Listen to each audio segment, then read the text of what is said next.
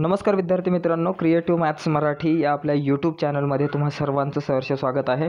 इयत्ता दहावी गणित भाग एकच्या सगळ्या प्रकरणांच्या व्हिडिओ तुम्हाला कशा पाहता येतील ते मी तुम्हाला सांगणार आहे. सगळ्या प्रकरणांवरच्या सर्व सराव संचांवरच्या व्हिडिओ रेडी आहेत आपल्याकडं.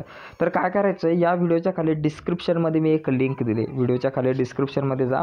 आणि त्या दिलेल्या लिंकवर क्लिक केलं की तुमच्याकडे अशा प्रकारचा इंटरफेस येईल. दहावी गणित भाग एकच्या सर्व धड्यांच्या व्हिडिओ तर आता काय करायचं इथं बघा एक ते पाचपर्यंत पाचपर्यंतच्या धड्यांच्या व्हिडिओ सध्या रेडी आहे. सहाव्या धड्यावरच्या व्हिडिओ अपलोड व्हायच्या बाकी आहेत. आता तुम्हाला समजा पहिला दुसरा कुठल्याही प्रकरणाच्या जर व्हिडिओ बघायचे असतील समजा तिसऱ्या प्रकरणांच्या जर व्हिडिओ बघायच्यात तर काय करायचं? या तिसऱ्या प्रकरणांवरती क्लिक करायचं आपण. हां तर तिसऱ्या प्रकरणावरती थोडासा कॉल आला होता मी कट केला. तिसऱ्या प्रकरणावर आपण क्लिक करू.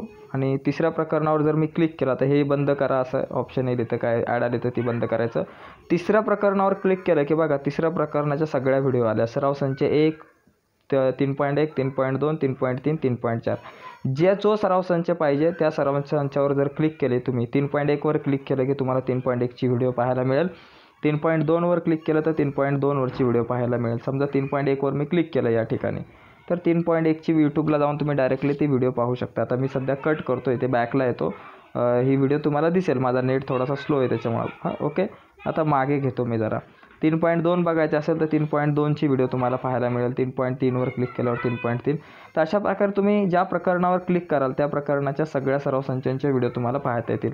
तर नक्कीच अगोदर या व्हिडिओच्या खाली डिस्क्रिप्शनमध्ये मी जी लिंक दिली त्या लिंकवर तुम्ही क्लिक करा आणि त्या लिंकवर क्लिक करून तुम्ही या सगळ्या व्हिडिओ सगळ्या सराव संचांच्या व्हिडिओ बघा. ओके? धन्यवाद. बाय सगळ्यांना.